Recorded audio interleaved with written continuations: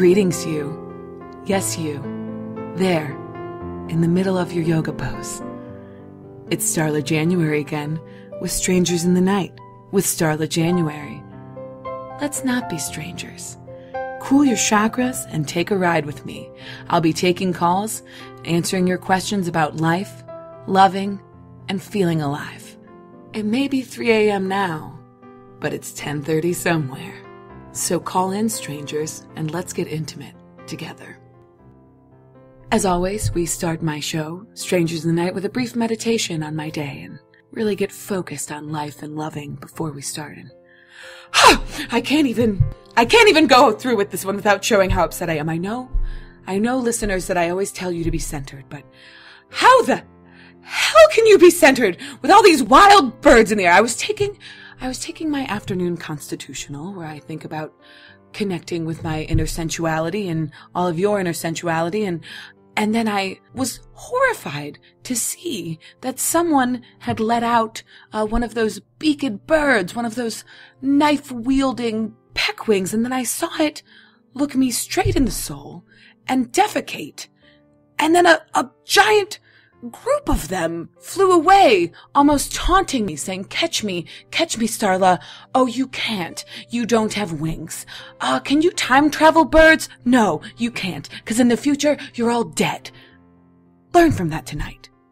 Next time you see a bird, take a small thread and squeeze it around its neck until you can see its wings give just the last fights of life. And you know that that is exactly what that bird would have done to you if it had the chance. Now let's all calm down and take some calls.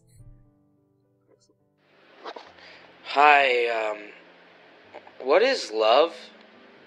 And how do I know if I love someone? Ah, a question for all the dreamers in this world. Really, caller, what you're asking is, what isn't love? Um, Hamburgers are love. Tiny choo-choo trains are love. Vestibules are love. A mother's kiss is love. A mother's rejection is love. A bird getting quietly murdered by a small plastic bag is love. Go out there and embrace that. Let's go on to caller number next. My boyfriend just broke up with me. How can I get him back? This has been one that many females have been plagued with. I'll give you my advice right away. I don't bother myself with boyfriends. I have man friends, and I have lovers. And so you don't need your boyfriend back. If he's willing to step up and be a man, or let you take as many lovers as you need to mourn his loss and then jump in there later, take him back. If not, go out there. Be beautiful. Say yes to life. And then he'll see that you look hot in some photo and he'll come crawling back. Let's have another dreamer call in. My boyfriend says he loves me, but he'll break up with me if I don't have sex with him. Does he love me? Hmm. Whilst murdering a bird earlier today, I was thinking about the same query, and basically, as the little talons just kicked at my inner palms in the last grasp of life, um, I thought, why, isn't life short?